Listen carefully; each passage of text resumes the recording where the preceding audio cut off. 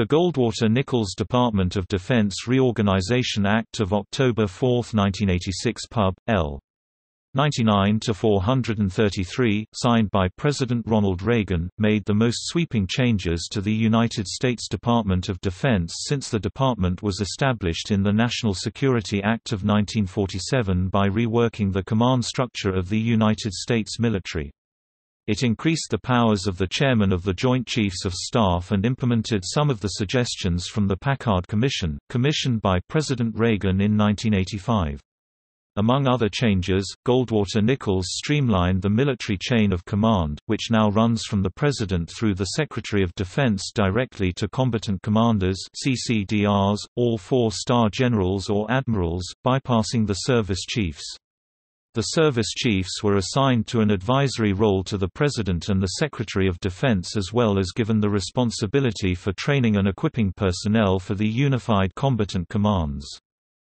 Named after Senator Barry Goldwater R. Arizona and Representative William Flint Bill Nichols D. Alabama, the bill passed the House of Representatives, 383–27, and the Senate, 95–0. It was signed into law by President Reagan on October 1, 1986. Admiral William J. Crowe was the first chairman to serve under this new legislation.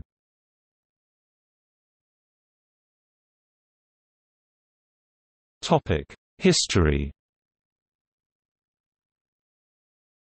The Goldwater-Nichols Act was an attempt to fix problems caused by inter-service rivalry, which had emerged during the Vietnam War, contributed to the catastrophic failure of the Iranian hostage rescue mission in 1980, and which were still evident in the invasion of Grenada in 1983. Such problems existed as well in World War II, during which two independent lines of command flowed from the President, one through the Secretary of the Navy to Naval Forces, and the other through the Secretary of War to Land and Air Forces. In 1947, the military restructuring placed all military forces, including the newly independent Air Force, under a single civilian Secretary of Defense. However, the United States military was still organized along lines of command that reported to their respective service chiefs Commandant of the Marine Corps, Chiefs of Staff of the Army and Air Force, and Chief of Naval Operations. These service chiefs in turn made up the Joint Chiefs of Staff. The Joint Chiefs of Staff elected a chairman to communicate with the civilian government. The chairman of the Joint Chiefs in turn reported to the Secretary of Defense, the civilian head of the military. Both the chairman of the Joint Chiefs and the Secretary of Defense reported to the President of the United States who holds the position of Commander-in-Chief of all U.S. Armed Forces. This system led to counterproductive inter-service rivalry. Peacetime activities such as procurement and creation of doctrine, etc. were tailored for each service in isolation. Additionally, wartime activities of each service were largely planned, executed, and evaluated independently. These practices resulted in division of effort and an inability to profit from economies of scale, and inhibited the development of modern warfare doctrine. The formulation of the airland battle doctrine in the late 1970s and early 1980s laid bare the difficulty of coordinating efforts among various service branches. Airland Battle attempted to synthesize all of the capabilities of the service arms of the military into a single doctrine. The system envisioned ground, naval, air, and space-based systems acting in concert to attack and defeat an opponent in depth. The structure of the armed forces effectively blocked realization of this ideal. The U.S. invasion of Grenada in 1983 further exposed the problems with the military command structure. Although the United States forces easily prevailed, its leaders expressed major concerns over both the inability of the different service branches to coordinate and communicate with each other, and the consequences of a lack of coordination if faced with a more threatening foe.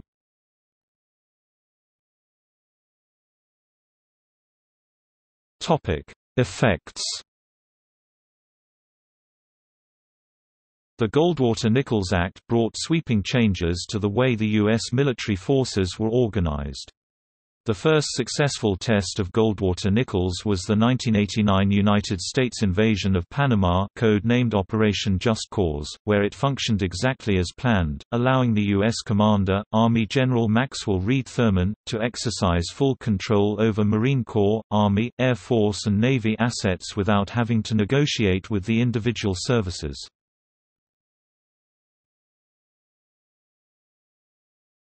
Topic Chain of command and military advice Under the Goldwater-Nichols Act, military advice was centralized in the chairman of the Joint Chiefs as opposed to the service chiefs. The chairman was designated as the principal military advisor to the President of the United States, National Security Council and Secretary of Defense. The Act also established the position of Vice Chairman of the Joint Chiefs of Staff and simplified the chain of command. Additionally, the Act states that the Chairman and Vice Chairman of the Joint Chiefs of Staff cannot be representatives from the same service branch. It increased the ability of the Chairman to direct overall strategy, but provided greater command authority to «unified» and «specified» field commanders.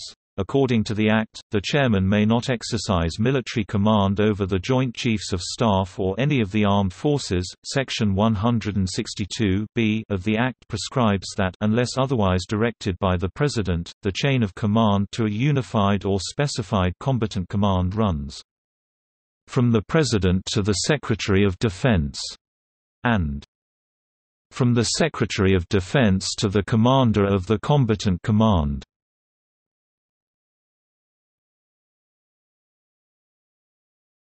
Topic: Interaction of services.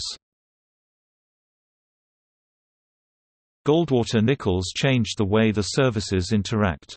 The services themselves organize, train and equip forces for use by the combatant commanders CCDRs, and the service chiefs no longer exercise any operational control over their forces. Rather than reporting to a service chief operationally, the service component forces support the commander responsible for a specific function special operations, strategic, and transportation or a geographic region of the globe Northern, Central, European, Pacific, Southern, and Africa commands. The combatant commanders then field a force capable of employing Airland Battle Doctrine or its successors using all assets available to the Integrated Unified Action Plan, including the military, interagency organizations of the U.S. government such as USAID and the Department of State, and intelligence agencies. The restructuring afforded a combination of effort, integrated planning, shared procurement, and a reduction or elimination of inter-service rivalry. It also provided unity of command, conforming with leading military science. Individual services changed from relatively autonomous war-fighting entities into organizational and training units, responsible for acquisition, modernization, force development, and readiness as a component of the integrated force. Thus USCENTCOM US Central Command, for example, would be assigned air, ground, naval, marine, and special operations assets to achieve its objectives, not the previously less efficient method of individual services planning, supporting, and fighting the same war. This was successfully demonstrated during Operation Desert Storm in 1991.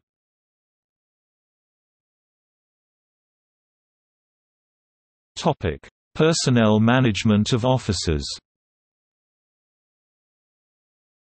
Another major effect of the Act is the way it has dramatically changed the personnel management of military officers. Many officers are assigned to joint duty positions occasionally more than once, and are educated in Department of Defense Joint Professional Military Education schools as part of their career development and progression. For example, in order to be competitive for promotion to general or flag officer admiral pay grade 07 or above, NATO of 6, active component colonels pay grade 06, NATO of 5 Army, Marine Corps, and Air Force or Navy captains must have completed at least one joint duty assignment, as well as having completed or currently be enrolled in a JPME school that grants JPME Level 2 credit.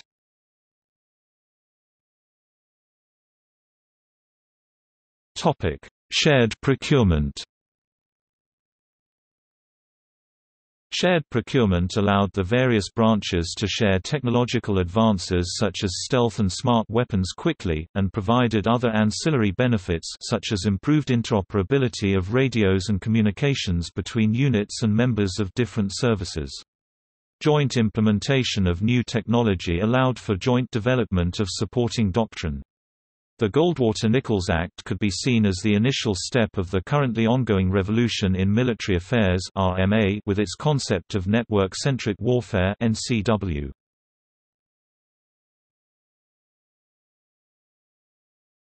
Topic: Changes since 1986. On October 24, 2002, Secretary of Defense Donald Rumsfeld ordered that the functional and regional commanders be referred to not as CINCs, but as combatant commanders when applied to unified regional organizations e.g., USCENTCOM, or commander when talking about specified Units such as the U.S. Strategic Command USSTRATCOM.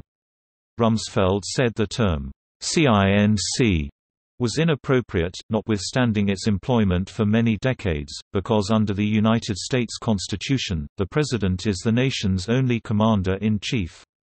His decision was described as intending to clarify and strengthen the military's subordination to civilian government. On November 10, 2015, Senator John McCain announced at a hearing of the Senate Armed Services Committee the beginning of a new effort to reconsider, and possibly update Goldwater Nichols. On January 4, 2016, the Deputy Secretary of Defense issued a memorandum directing an internal review with the objective to make recommendations for updates or adjustments to organizational relationships and authorities.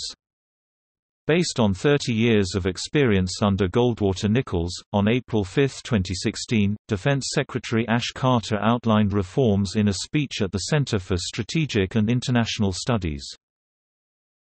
Notes